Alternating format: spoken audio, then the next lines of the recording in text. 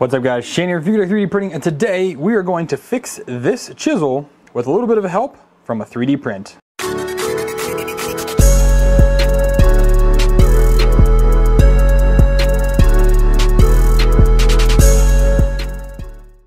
This is not like how you sharpen a chisel, this is me like, can I make this work? I don't know. Welcome back guys. So I found this chisel in my stuff and I want to use it and the the tip is just absolutely god awfully destroyed. I have no idea where I got this from, uh, but the tip there is just absolutely demolished. So I didn't want to buy a new chisel, so instead I went out and bought a sharpening stone. I was like, okay, I can do this. But then I do remember my dad teaching me years ago that when you sharpen a chisel, it has to be at a certain angle. You have to be able to get that angle just right, and if you rock it too much or too little, you're not going to have the right angle on there. So I went online and said, hey, can I find a 3D print? And of course I did. I found this guy right here. And this is like a super simple, I think it's even called like the super simple chisel sharpening guide or something like that. Either way, I'll put the link down below so you guys can check this out. But I mean, this again is really simple. It's really shaped to be able to hold your hand almost like a mouse. Doo -doo -doo kind of feels like there. But basically your uh, chisel goes in upside down and you'll level it out there.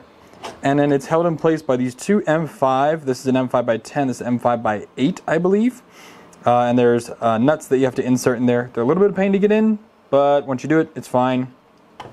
You get that on the right angle and this is basically to give you that angle so you can slide back and forth on your surface to be able to fix this now, you don't need a sharpening stone to do this. I just wanted to have one for a while, also for my axes and things like that. This is a 400 and 1000. We're going to be doing this on the 400 grit to start with. Uh, you also can do this on sandpaper, apparently. Just get a nice flat surface, not this desk because it's not flat. and then using this tool to put it in there and then go back and forth and that will sharpen it. But because there is such damage to this thing, I feel like we're going to have to use the stone here. So what I'm going to do is I'm going to go ahead and get this uh, put in here. I'm actually going to use the stone to help me get it at the right place here. Out of the way? Here we go. So we get that on there like so, and we get the blade. We get that all the way down touching, and then I'm going to hold it, flip it over, and tighten down these two. Whoop, I need to move the blade a little bit. That's still making good contact. And if we look, we can see that is completely in contact there, which is good, I think. This is not like how you sharpen a chisel. This is me like, can I make this work? I don't know. So, uh, yeah, so now other people have done, I've seen this done with, um, with wood, is actually make like a holder for this and it has a big back area so that you actually have space to do this. I'm just going to be doing it right here. Um, it's probably not the best thing, but I didn't have really wood around to do it, and I didn't feel like 3D printing this gigantic base, at least right now. If this works, 100%, I'm to do that. But uh, yeah, so I'm going to see how long it's to take me to do that. So I'll be right back.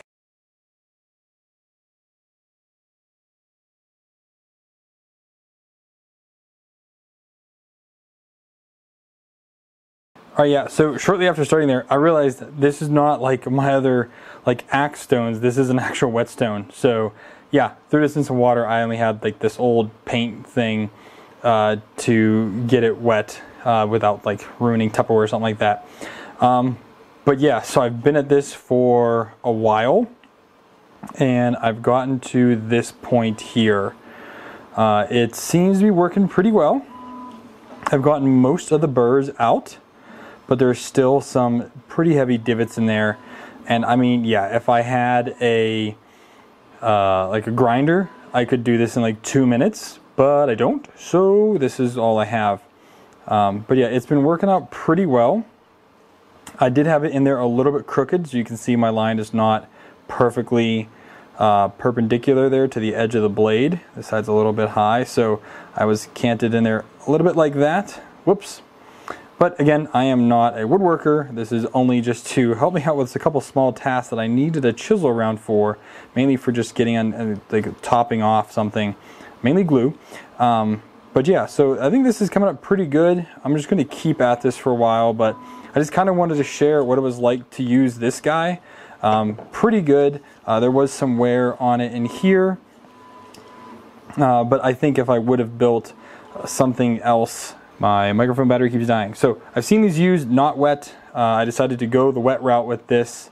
Um, but I mean, my, my travel movement is pretty small on here, but I'm able to just repetitively go at it. And, you know, again, it's kind of working. So hope this was useful to you. Maybe you can use this in your project if you have a chisel that you need help on, or if you just don't have a super fancy chisel holding, sharpening deal or you just can't hold the right angle all the time. I don't know. Maybe this will be helpful to somebody. Yeah, okay. So hope you guys enjoyed the video. Give it a thumbs up, subscribe. Uh, hope to do more projects, little things like this. So I'll catch you guys in the next one. Happy printing.